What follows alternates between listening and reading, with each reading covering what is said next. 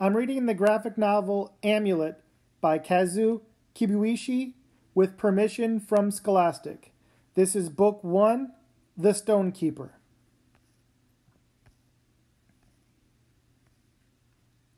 Prologue We're supposed to pick up Navin at 8 o'clock. We're late. We have plenty of time, at least half an hour. Fifteen minutes is not a half hour. I just think Dad just lives in an alternate universe. Time moves slower there. That certainly would explain a few things. I'm sure Navin won't mind playing video games for a few minutes longer, honey. Hey, Dad, I get to play a game when we get there, right?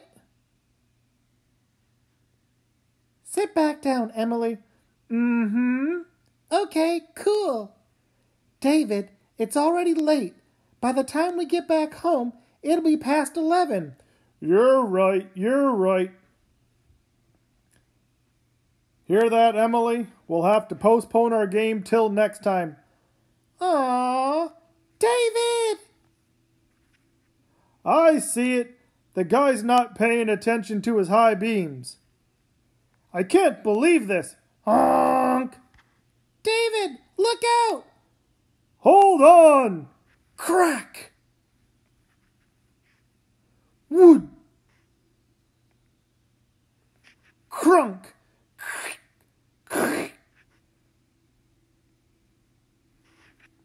Karen, are you okay?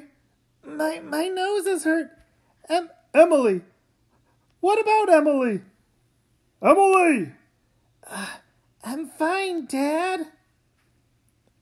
Okay, I want you to climb out of there and come out the front. Click. That that's it. Just keep moving. Get away from the car, Emily. Karen. Now you. Come on, Mom. Urgh. Dad, give me your hand. Emily, I can't. My legs are stuck under the dashboard. Dad, just give me your hand, please. Emily, I'll need your help. Mom, Dad's stuck. David! You have to get out of there right now. Karen, my legs are stuck. We need someone to pry me out of here. Get help. David, we don't have time. The car's tipping. Just give me your hand. Uh, I can't move. I can't do it, Karen. You're gonna have to try. Uh, no! Karen, let go. David! You need to look after Emily. Let go. Mom! Dad! Get out!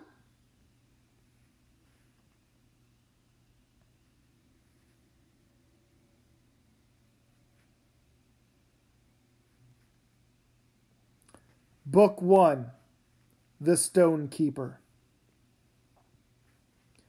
Two years later. If you keep that up, your face will stay that way. I'm trying to cheer up Em. She's making the mopey face again. Hey! Just so long as you both find some way to be entertained and stay out of trouble. I don't care what you do with your faces. Don't listen to him, Mom. I'm doing fine. Anyway, I think you guys will like this town. They have miniature golf. The only catch is that this house will require a lot of work to make it comfortable. Why did we leave our other place? Everything there was brand new. Unfortunately, new things cost a lot. Since your father passed away, I haven't been able to afford that house. At least out here, we won't be under quite as much financial strain. This house has been in the family for years. Mom, we're out in the middle of nowhere. There are plenty of places in this country that are out in the middle of nowhere, none of which are quite as populous as Norland. It's a fairly sizable city. Now entering Norland, population 28,000. You'll see, it's not that different than anywhere else. Well, here we are. Smell that fresh air! Isn't it great? Now let's see if these keys still work.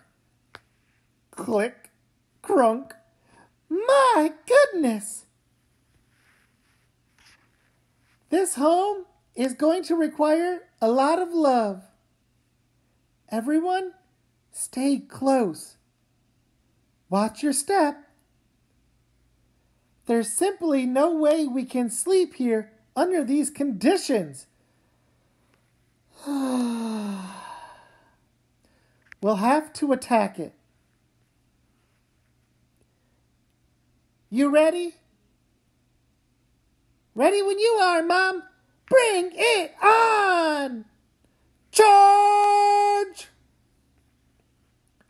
Shh. Ba-boom.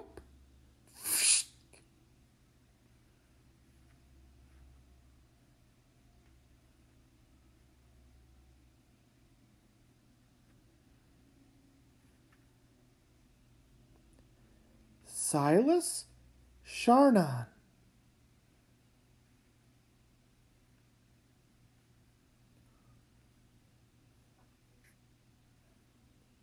Emily! Emily! Whoa!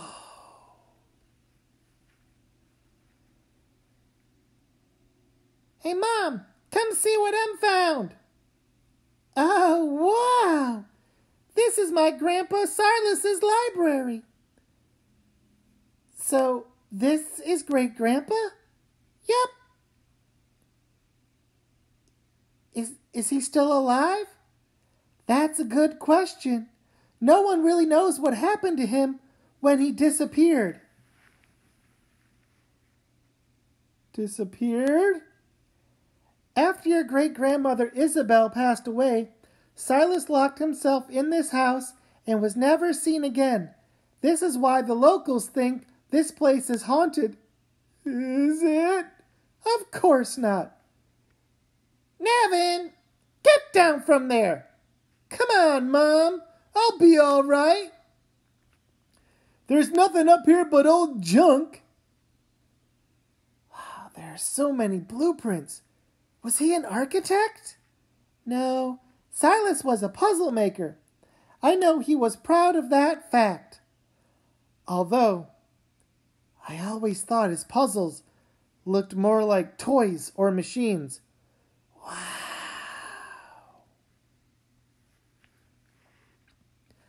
I'm glad you're taking an interest in Silas's work. I'm sure it will come in handy for your school report. Do I have to go to school? I can learn everything I need to on my own. I know you ain't having to go to a new school again, but there's no way around it. I'm sure you two will have no problem making new friends. It's not that, Mom. It's just that I don't see the use of learning algebra when I know I'll never use it in the real world. And when did you get to know so much about the real world? It's true, isn't it? Well, that's beside the point. You said great grandpa didn't go to school, right? And look at all the cool stuff he did. Emily. Your grandfather was eccentric, and he's not someone you should look up to. Why not? Just trust me, Emily. It's better to lead a normal life like everyone else. Now let's go downstairs and finish cleaning. We had a lot of work to do before it gets dark. Shh. I wouldn't do that if I were you.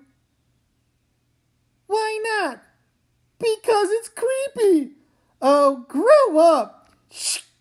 Ow! See, I told you not to touch it.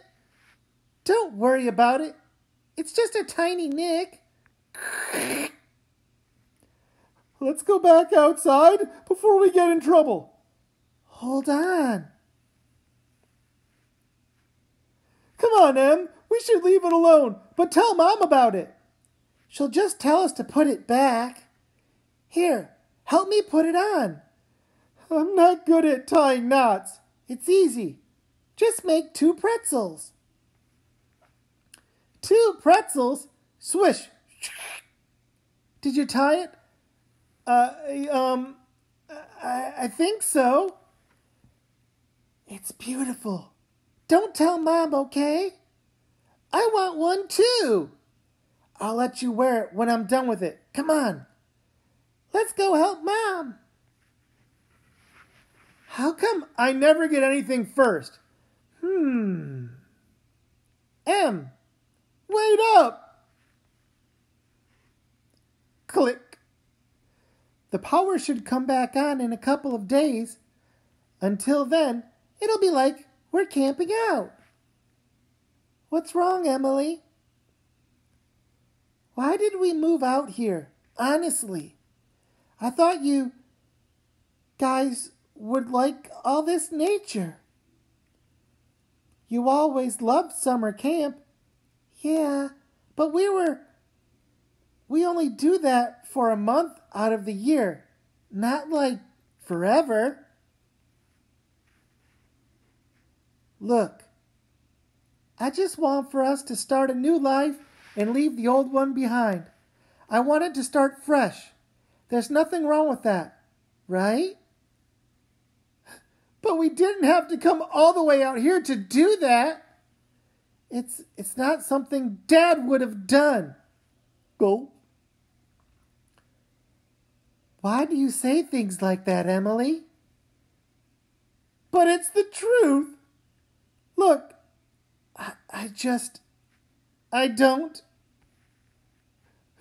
Mom? Um I'm sorry. I miss your father as much as you do.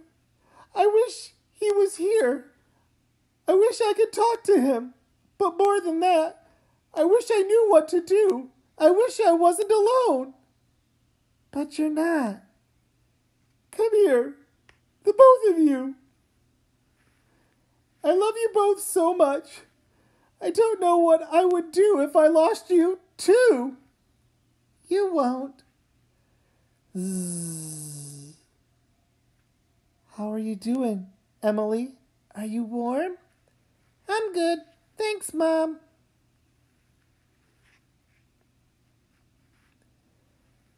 We have another long day of cleaning tomorrow, so get some rest. Look, if things don't work out here, we can go back to the city. Don't worry about it, Mom. I think I just need time to adjust.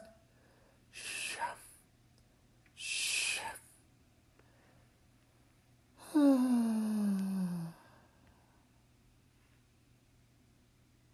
Emily. Emily. Listen carefully. Your family is in danger.